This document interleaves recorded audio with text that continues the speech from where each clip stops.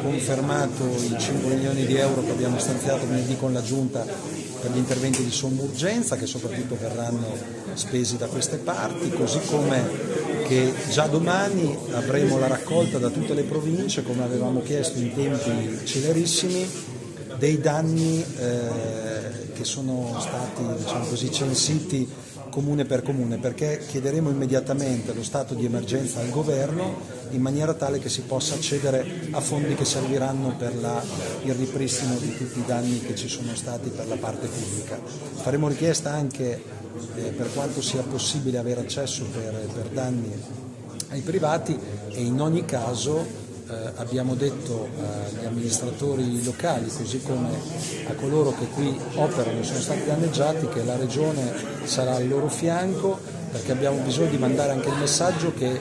qui non ci ferma nessuno per come è fatta la gente di questa terra, che si riparte e si riparterà immediatamente anche perché alle porte una stagione turistica che ci aspettiamo sia eh, col segno più ovviamente anche rispetto agli altri anni, c'è l'occasione dell'Expo dove saremo domani con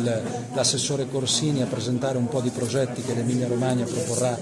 alla, appunto, alla fiera eh, universale a Milano che si terrà, l'esposizione universale a Milano che si terrà da maggio in poi per sei mesi che è una formidabile occasione per eh, promuovere i nostri prodotti al mondo ma anche per fare una grande promozione turistica per l'Emilia Romagna. E sappiamo quanto sia importante la costa, la Romagna